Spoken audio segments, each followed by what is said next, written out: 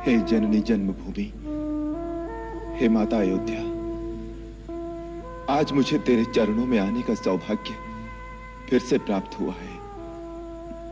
तेरा पुत्र राम, तेरी पवित्र माटी को शत शत प्रणाम करता है।